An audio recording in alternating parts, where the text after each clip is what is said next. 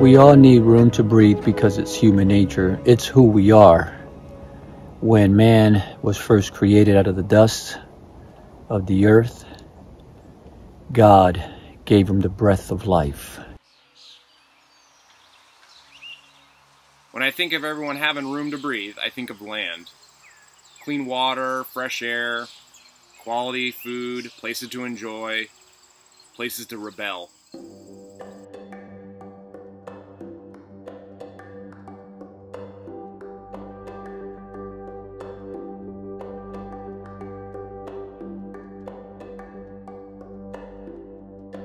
I am a descendant of enslaved people in this country. Um, prior to that, the big portion of my family came from Africa and West Africa and were farmers based on the histor- historical record that I've been able to uncover. They were they were farmers. I have fought racism my entire life. So I've been in from people trying to burn down my house since I, when we were four, when I was four, to going to school and being the only black student at the local elementary school. The same people that were doing the, the things to us are the same people that you're thinking are going to look at these cameras and are going to change things for us. It's foolish. Mm. It's foolish. It's not for us. It's for them. They get to see the body camera. They get to see what's going on. They get to really understand what's happening. They get to know the past and the present. They get to change the future. All we can do is work with in the parameters that we're allowed to work within right now to set it up for them to be able to utilize it and make the change. I'll probably never see it.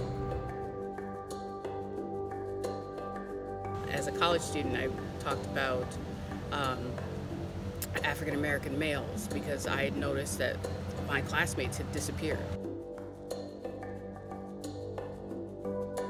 Serious privilege that comes into the the current uh, back to the land movement um, and young farming generation is often just white uh, privileged folks that are able to succeed, and so I can't truly speak to the deep, deep barriers that individuals can face um, when coming from a different uh, economic place or, or class, or uh, or also the racial barriers are just so deep. Thankfully, I mean, in one way, thankfully, I mean, I'm um, don't experience those things on a daily basis because my I pass as white. Uh, but if you didn't, it would be a much different uh, experience out here to start farming and there are certainly lots of farmers that would treat you equally and, and give you a chance in the world, but there's also lots of farmers and people in this community that would write you off and not give you a chance.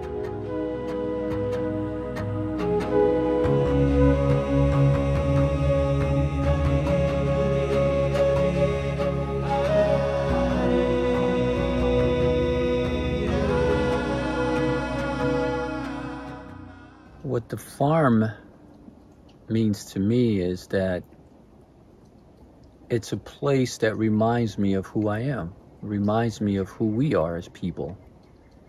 We are part of nature, nature is part of us. So when I'm in the farm, I am reminded of the creation.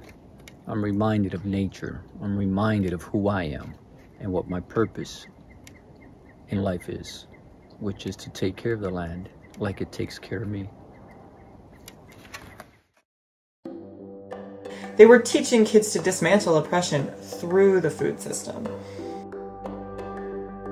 At the Youth Farm Project, we are revisiting with staff and the board what it means to be actively anti racist.